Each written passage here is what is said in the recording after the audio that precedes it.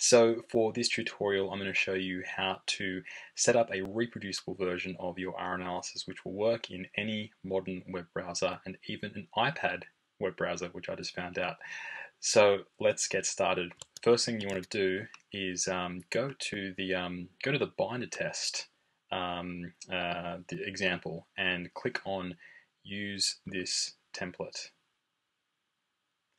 Um, this is assuming that you are logged into GitHub and you'll create a repository name. And for this, we are going to be doing an analysis, which is a, um, a tutorial on how to actually run a meta-analysis using R. So we'll call this meta example.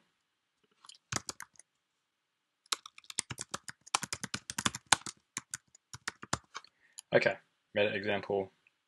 Yeah, so we're doing this.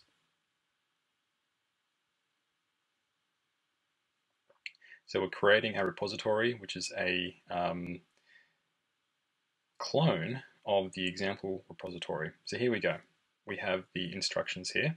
So the next thing we want to do is link this up with RStudio. So we'll go to RStudio, new project. Uh, yeah, we'll save that. Version control, git. Go back,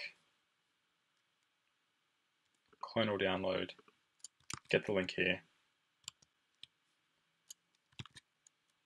and this looks good. Create project.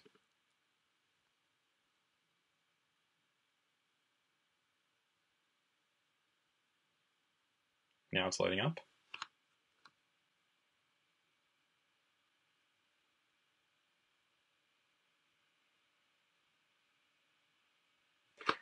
Okay.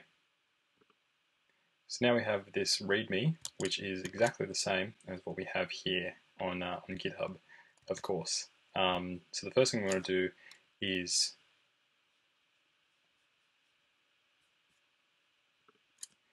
for instance, if we just change this,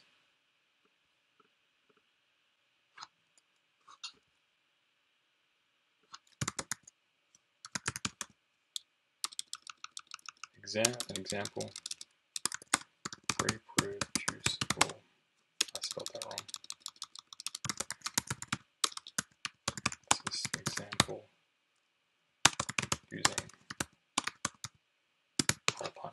And then we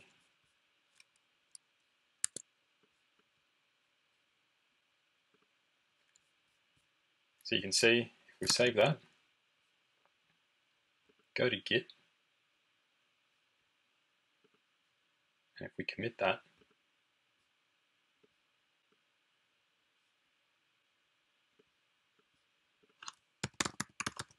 version 1,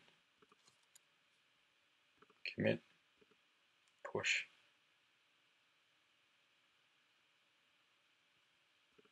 And if we go back, then we can see this will be updated. There you go. Now let's go back. First thing we want to do is to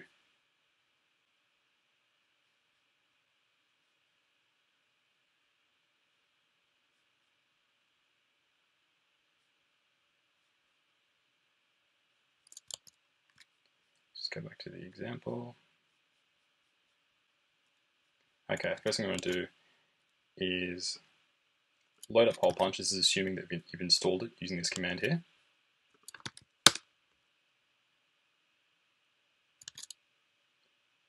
And then put this in. Let's just create a new file. Call it holepunch. And let's just paste this in. It's probably going to be easier. Change this.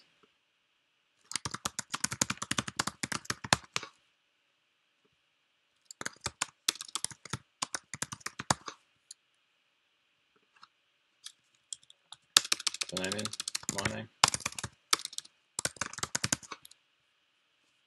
Okay, let's put my name. There you go.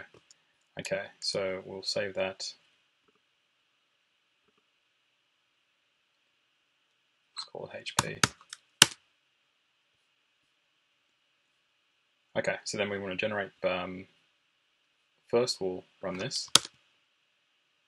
So we've written the description. uh, this is really important. We'll go back to this. Then we'll write the file. Now, what we'll do is we will, uh, I've got some files that we're going to be using. I'm going to put this in to meta example.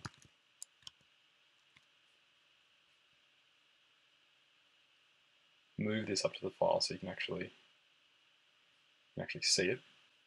Refresh this. Um, we want to remove the old analysis file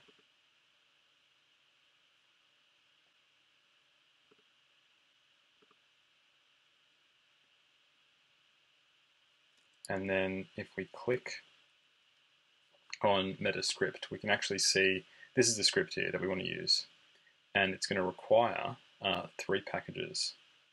And so what this means is if we go back to our description, we have to make sure that um, these are the packages that are loaded.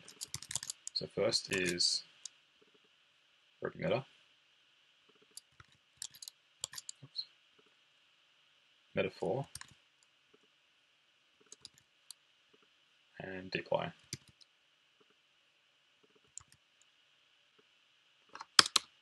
Remove the comma at the end. We want to, um, let's just leave this blank for now. Okay, so we've updated the description. All the files that we need are ready to go. Should be all there. Okay, go back to our go back to our script. Uh, generate badge. This is copy and pasted. This is already copied to the clipboard. So let's go back to our README. This here, and we'd say uh, click below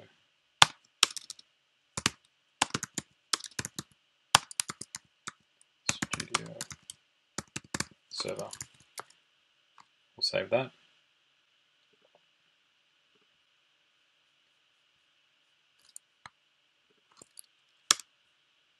Remove that.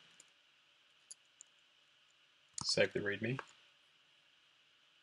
Now we've got a um, bunch of files that we want to commit to update GitHub.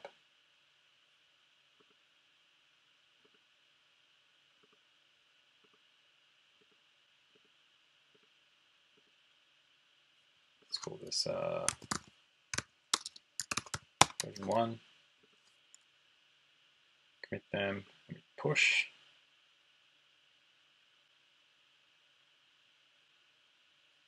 Good to go. Double check. Reload this. There we go. Now, let's go back and build.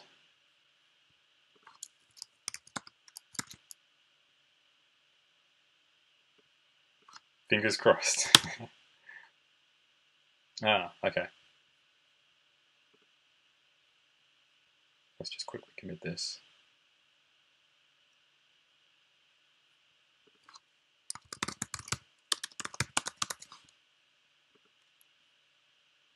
Push.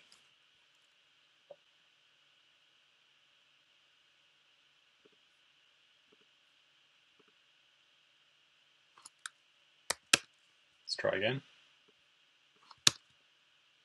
Now, uh, this can take anywhere from uh, a minute to quite a few minutes depending on, uh, on uh, your packages and how much you're loading. Uh, so you'll have to wait and see, but uh, let's have a look at the progress and we can do that by clicking on Launch Binder and we can see what's happening in the background. Okay, let's just let this run.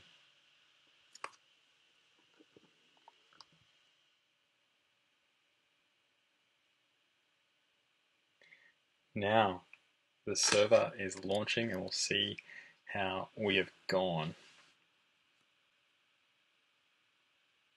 Here are our files. Click on Metascript. First, we'll install our packages.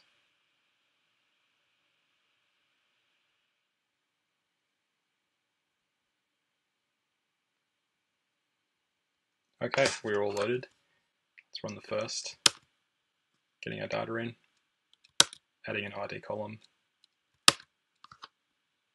Take a look at the data here. There you go.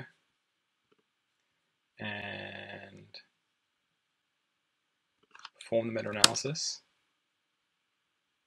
having a look at the data, uh, which now includes measures of, uh, of uh, effect size and effect size variance, meta-analysis. Run the meta-analysis. Here are the results here.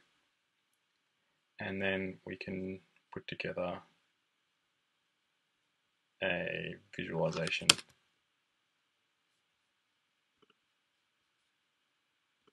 There you go. Reproducible meta-analysis.